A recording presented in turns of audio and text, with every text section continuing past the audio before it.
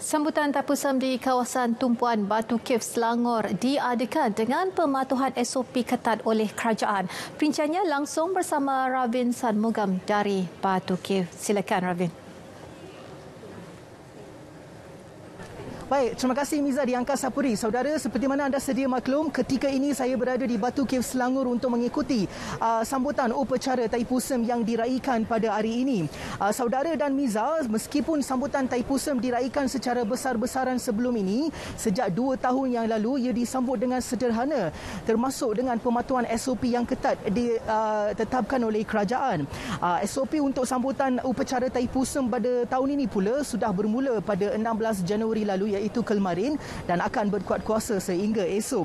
Terdahulu PDRM juga memaklumkan 1,300 anggota dan pegawai PDRM akan memantau keselamatan dan SOP khususnya di Batu Caves di sini untuk memastikan tahap pematuhan SOP yang ditetapkan kerajaan. Untuk mendapatkan perinciannya, ketika ini saya bersama SAC Gerakan Jabatan Keselamatan Dalam Negeri dan Ketenteraman Awam SAC Sri Kumar. Baik Tuan, terima kasih kerana bersama dengan kami menerusi berita tengah hari pada hari ini.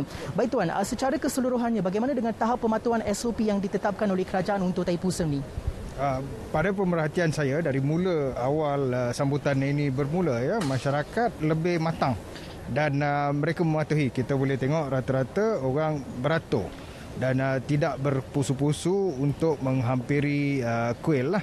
Uh, jadi pematuhan uh, agak baik setakat ni dan uh, tidak saya tidak menerima apa-apa aduan dari anggota saya yang bertugas di lapangan. Uh, cuma awal-awal ada juga sedikit uh, macam uh, orang tidak berapa faham tentang anak-anak. Anak-anak tidak boleh dibawa kerana SOP mengatakan uh, umur lebih dari 18 tahun.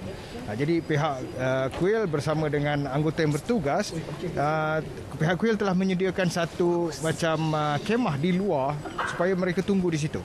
Ya, jadi pematuhannya agak baik kali ini. Mungkin uh, tuan ada tak member, uh, ingin memberi apa penasihat kepada orang ramai supaya memastikan pematuhan SOP itu uh, dilaksanakan?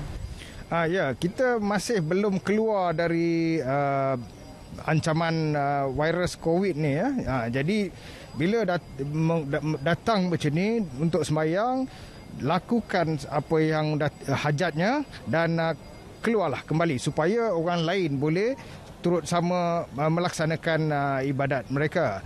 Jadi uh, oleh kerana SOP kali ini tidak membenarkan uh, kedai-kedai gerai-gerai gitu, saya lihat orang uh, lepas mereka sembahyang, mereka akan keluar dan beransur pulang. Jadi uh, kita kena sedar bahawa uh, ancaman virus ni memang benar ya, but, uh, it is real. Jadi kita kena berhati-hati.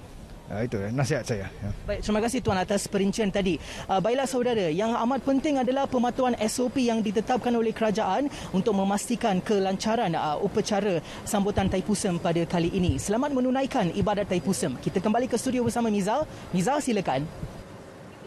Baik, terima kasih Ravin. Dan